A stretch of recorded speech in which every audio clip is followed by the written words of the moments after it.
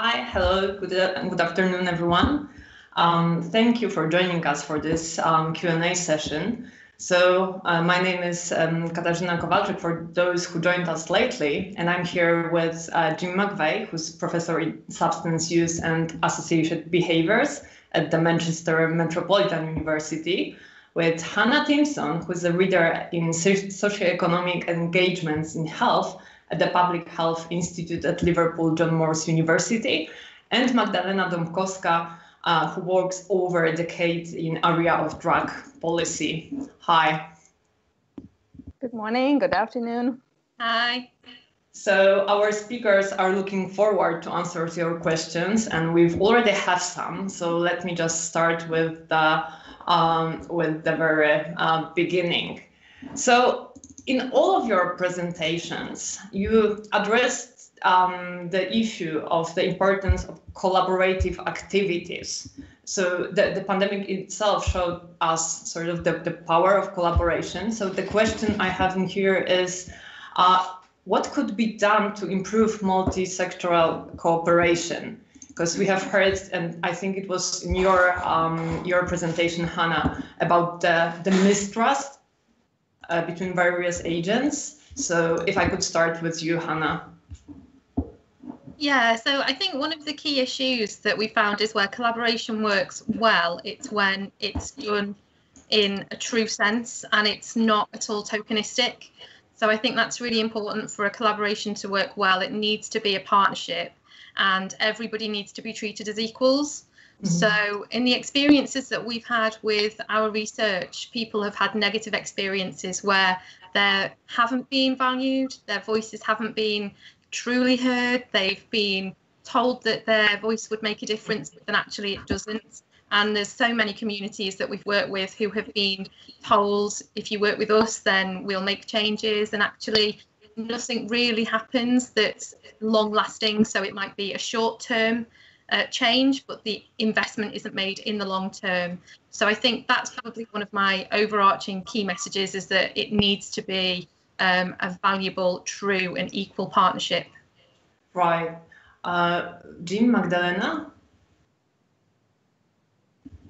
Yeah, I, I, mean, for, for, for me, one of the uh, key things is around uh, stripping back uh, what you believe or, or what you go into it, what you know to be true uh, and being willing to listen to other people's truths and to accept the fact that with what even with the best of intentions when you go into any kind of relationship probably what you want to get from it or what you think others may want to get from something isn't a reality mm-hmm. in reality when you go into something around um, whether it's around drug treatment or drug interventions. For most people, the drugs aren't the issue. They, they, I'm not saying they don't care about those things, but there's a lot more other things of more importance or that we would have to get through before we ever touch that issue. And it, it works either way.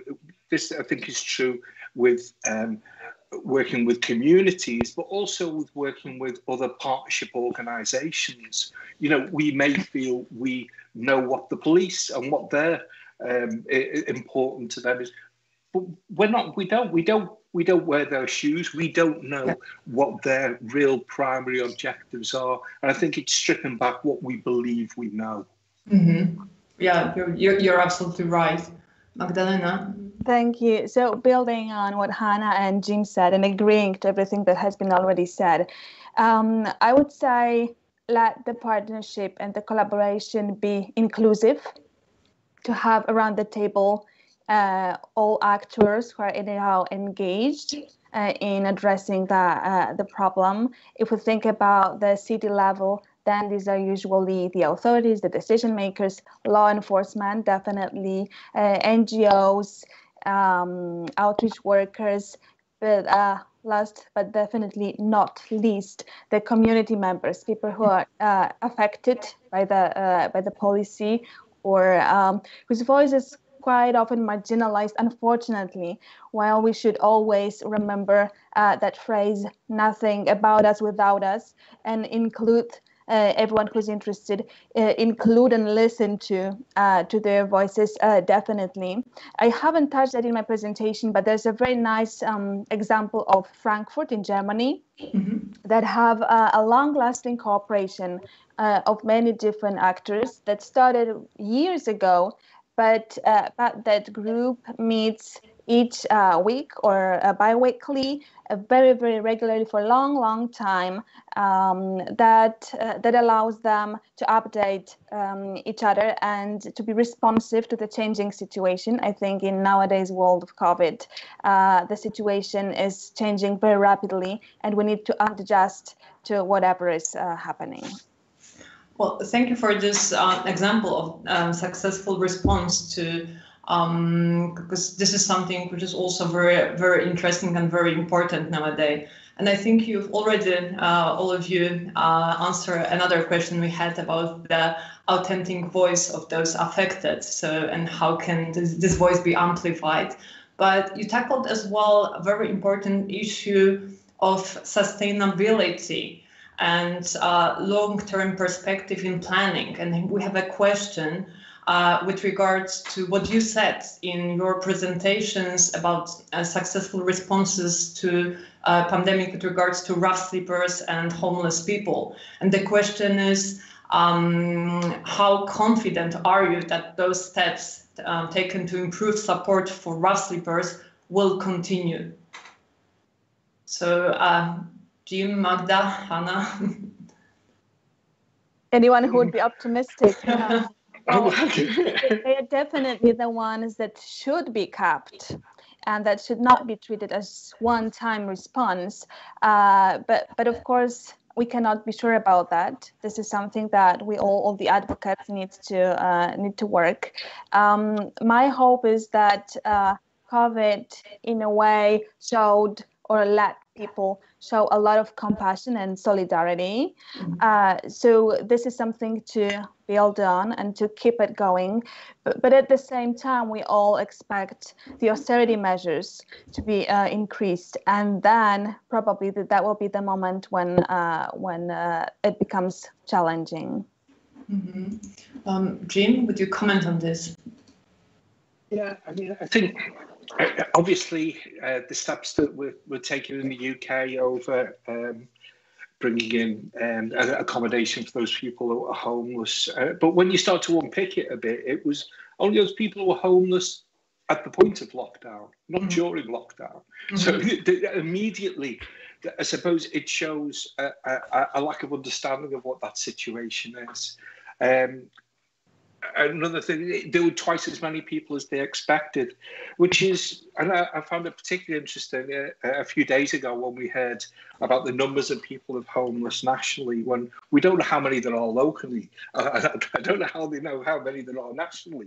But there's always, a, well, we know this, we've got this boxed off now. We've given the, we've given the homeless uh, somewhere to live, and then we have a prime minister who says that you know if it doesn't work out why don't they go and stay with their uh, family or friends? You know and it's that level of sort of ignorance that makes you feel sometimes that you go one step forward and two steps back. And i know that realistically we need to take the wins where we can and hold on to them and build from there. But each time you hear it being undermined in some way you, you feel that, that that that is creating as, as much damage as as many of these good things are creating good. You're, you're right. And um, Hannah, would you like to add something?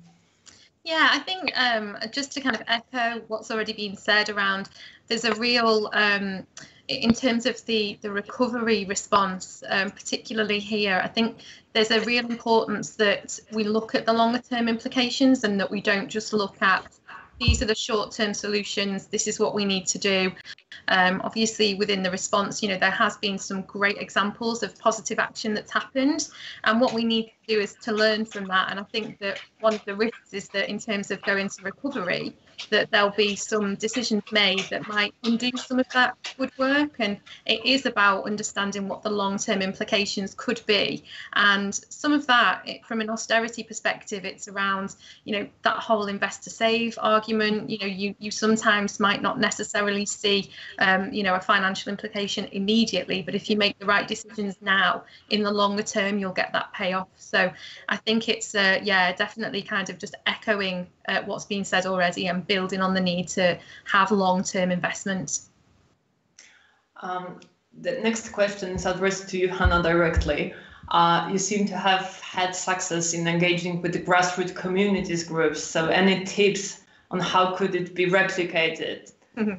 Um, yeah, I mean, for us, a lot of the research that we do um, is with people who might not necessarily access statutory organisations, and sometimes they might be um, kind of classed as hard to reach. Nobody's hard to reach, everybody is out there, you just have to go to them. Um, and sometimes the best way that we find to do that is to work with those grassroots organisations, so third sector organisations, um, voluntary, community, faith um, organisations, and it's about making um, use of your networks, building relationships, establishing relationships, and when you do, it's about maintaining that, keeping hold of that, mm-hmm. not doing anything that's tokenistic, and really, um, you know, placing value on the relationships that you build. And a lot of the work that we have done with people in communities mm-hmm. um, who, you know, have been very isolated, suffering with extreme mental health issues, exacerbated by poverty and the associated factors there. A lot of the ways in which we get to speak to those people and find out, you know, what do you need? How can we support you? How can we ensure that inequality is not exacerbated for, um, you know, those populations? It's going through the third sector. It's going through community organisations, and I think once you start to build um, or you know relationships with people in networks, then you you kind of it's it's such a great way to work, and I think it's really important that we do place value on making sure that we invest in the infrastructure that we have in the third sector because those grassroots organisations are the ones that often are counted upon to make the difference, but not necessarily always invested in um, in that longer term. Mm-hmm. Uh, any other tips? Any other what? Sorry. Tips for um, oh, for engaging. Mm-hmm. Jim.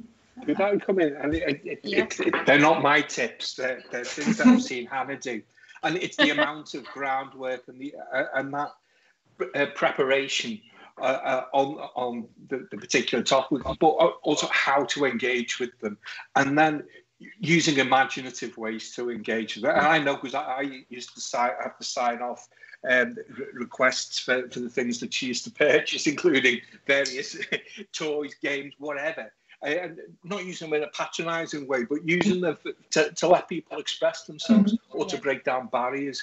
And and and I think it's the she dismisses it as just going out there uh, and, uh, and, making it happen.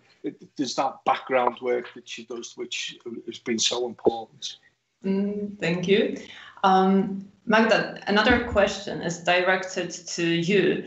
Uh, do you think that the pandemic could be a defining moment for the future of harm reduction as the AIDS epidemic was before? Oh. Uh, that, that's it. um, well, I, am not sure if that could be a defining moment, but definitely uh, that can be a moment when we uh, use a chance. I mean, it's also difficult to speak about the pandemic as a chance, but but in a way, it can be seen as an opportunity. Yeah. So, so uh, I do believe that this is the moment when a lot of things that uh, that have been clear for us are actually becoming visible to the public, to the decision makers, uh, we can see that things are possible, that they're not damaging the safety of um, of the public, of the citizens, for example. So I do believe this is the moment that we can use.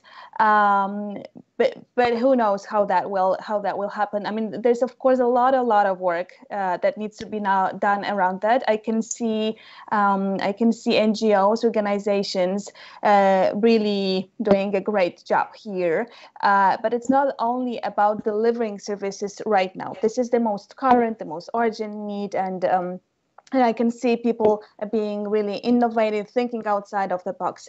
But then we, we will need to spend some time, maybe when the situation becomes a little bit stabilized, uh, to um, to monitor the change, to report, to collect the data. To, uh, as Hannah said, we need to think in the long term. So there will be a moment well, when uh, we will be able to use whatever ex- we experience we are experiencing right now and to build upon that. But there's of course uh, work to be done for the advocates, for the organizations. Um, I once again would like to um, to remind what has already been said here about the engagement of the communities, of their voices. They do need to be able to speak for themselves and advocate for, for their needs. They're the ones who know what is needed. So I would find it really, really important. Mm-hmm. Uh, Jim, Hannah, would you try to address this question? If, if I may, and I, and I suppose it's, I, I don't mean to come over too is even too pessimistic. But in many ways, I hope it's not defining, because my fear is that the definition would be where we saw a lot of the mm-hmm. NGOs and voluntary sector decimated as a result of the um, economic impact that COVID may have. And, and, while I accept, you know, the, the hardship and, and the pain of people suffering directly from COVID, I do. I am very concerned about what that the economic impact may have on the most vulnerable of people and the most vulnerable of organisations. Mm-hmm. Yeah, that's a that's a good point. Um, Hannah. Yeah, just to pick up on that, really, I think that that's definitely been the experience that we've had so far working with um, voluntary uh, community, faith groups, and organisations is that they have adapted so quickly They've adapted um, immediately and really effectively, but they are the ones who are now most vulnerable in terms of potentially, you know, they're going to be asked to pick up a lot, of the pieces, I think, in terms of the recovery element. Um, people in the community, people in their homes, being supported by third sector organisations, and yet they are most vulnerable and they don't necessarily have the long term uh, resources financially, staff wise, um, volunteer wise to be able to provide the support that I think is really needed. So there is a risk there at the moment, and we're doing some research at the moment to try and understand some of the implications are for grassroots organisations in the third sector to see how their sustainability and their infrastructure might be um, potentially, you know, put at risk um, by the current situation. Um, this question is not on a list. It's um, it's my question, but I feel like I, I can address it. And it's a question uh, to you, Hannah, about the results of your study, because they are um, very interesting. And I would like to ask, uh, is there anyone, I mean, policymaker, that you use um, the results of this study, for example, for the future planning? Like, do you share these results and they are being used? Yeah, that's a really, really good question. Um, so the research that um, we presented is um, from a number of different projects that we've done across the Liverpool City region, um, but very specific to um, sort of issues around compassion and austerity. And um, what we tend to do is we're commissioned to do the research by local authority or health and social care organisations, so statutory organisations. And what it enables us to do is to then uh, bring that voice back to the table. So one of the examples that I talked about was um, a social prescribing project that we did, and we actually brought the providers and the commissioners together um, to discuss the results of our research, to talk about what would that mean for the future. And so we we had developed recommendations independently as researchers, but we found that the providers were saying the same kinds of things, but hadn't necessarily discussed it, and the commissioners hadn't really had a conversation with them. So we did um, a bit of a kind of a session with them using some toys that Jim described before. So we used Lego. We started off, we had you know, directors of public health, um, you know, senior leaders in health and social care, and then third sector providers and we facilitated that session and we started off with just asking them you know build a lego model to tell us what you want social prescribing to look like in this area and then we it kind of was really then quite nice and relaxed and then we started to talk about the research shows this. How are we going to address it? What are you going to do as commissioners? Um, so that then helped to build a commissioning specification that was then um, very specific to the needs, but also the, the provision available within the area. Uh, I think this is an exam- uh, excellent example of how to bridge the gap between between the research and uh, service deliverers. So thank you for it. And from what I can see, the last question is directed to Magdalena. Um, are there any examples we can look to where populist and authoritarian governments have actually favored a harm reduction approach? Not that I'm aware about. um, well, the the, uh, the authoritarian regimes, they um, in a way they have proven to be maybe um, better they're delivering better in terms of um, in terms of fighting with the pandemic mm-hmm. but i would say that the costs of that are so huge uh, and that was not necessarily um, in the uh, harm reduction spirit. That uh, that that would not be the, the way i would recommend to go. Unfortunately um, as i mentioned in my presentation uh, wherever the space for civil society is shrinking um, then we'll see uh, then we'll see a the communities b the organizations uh, that deliver services and provide care to them uh, getting more uh, vulnerable so as hannah said especially the, these um, these places would need a lot of our attention um, so not not not really Mm-hmm. Uh, Jim, because you laughed when I was asking this question, would you like to? it did. It was an ironic smirk. It wasn't a laugh. it was, and, I suppose, I mean, the, the, the one of, of, of, the UK in the 1980s, when uh, we had the, the biggest right wing government that we've had until the current one. Um, and we made you know massive headway in cities like Liverpool and Manchester, um, and that was that that wasn't because of what was done by central government. It was because um, it's what they didn't do and what they didn't bother doing, and in some ways, the greatest favour a central government can do is leave you alone because the, the innovation and a lot of the progress, yeah, you need the funds and you need some of the infrastructure, but the big, big benefits can be gained locally. And to, in some respects, being left to get on with it can be a massive favour. Mm. Hannah, any last words?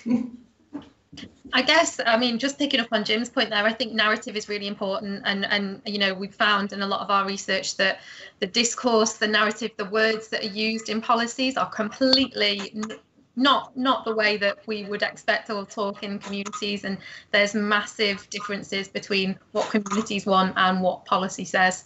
Um, so I think that there's there's work needed there as well. Well, thank you. I think we came to an end of this session. Uh, thank you very much for uh, for participation in our City Health online conference, and I so hope to see you all next year in Warsaw. Actually, I hope to see you much earlier. Don't wait until next year. Uh, thank you. And one last information is I would like uh, to invite all of you for our memorial lecture um, Alison Chesney and Eddie Killoran Memorial Lecture delivered by Marewa Glover. Thank you. Thank you. Thank you very much.